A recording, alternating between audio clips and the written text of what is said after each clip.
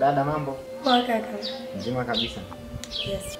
Unajua dada, mimi sitakuwa mwongeaji sana.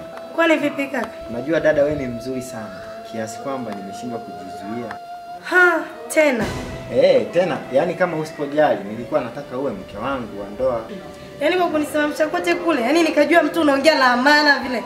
Huwa muda wote ulionipotezea pasifu kishafuka ninakwenda. Hivi unajielewa kweli wewe mkaka? Wewe mjinga nini? Kama mazao anakaa au kuwanunua sio mimi. Hebu nitazame na unishushe kangu. Nafanana na wanawake wa- sina azimia kununua, unasikia eh?